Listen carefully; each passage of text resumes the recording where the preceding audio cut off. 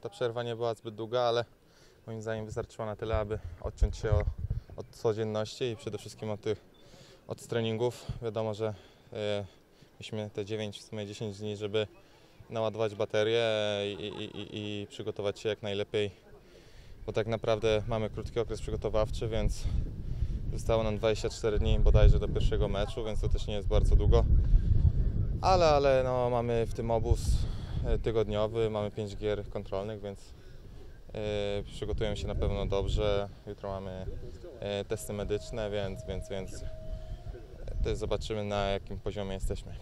Ja, ja się odciąłem zupełnie od piłki, nawet, nawet mało co oglądałem meczy mundialowych, bo też ja lubię się odciąć w tej przerwie jak najwięcej od piłki i, i, i dopiero się skupić od dzisiaj w sumie na tym, co jest najważniejsze dla nas.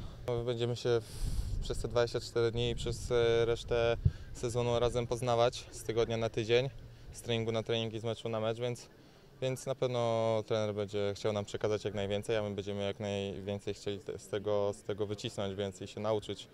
Więc to tylko trzeba czasu, żeby, żeby, żeby to fajnie zafunkcjonowało. Już, już y, y, brakowało mi treningu, ja już y, y, tak jak mówię, no y, to jednak druga liga, drugi, drugi mój awans, w końcu, w końcu y, mam nadzieję będę miał okazję w tej drugiej lidze zagrać i, i, i, i, tak, dla mnie ten, ten urlop był wystarczający, tak jak już mówię, już urwało mnie do, do tego, żeby wrócić do treningu. No to na pewno jest szansa dla wielu chłopaków, no nie ukrywam, że, że dla mnie też, bo tą, tą rundę poprzednią e, nie grałem za dużo.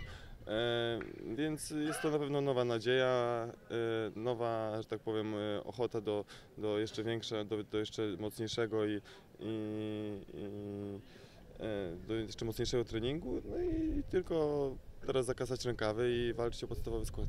Akurat ja mm, urlop spędzałem spokojnie w domu u siebie na Mazurach, u rodziców. E, Więc w sumie oglądałem chyba prawie wszystkie spotkania, może tam z, z, z, dwa jakieś takie teoretycznie słabsze e, ominąłem, e, e, a tak to starałem się na bieżąco śledzić.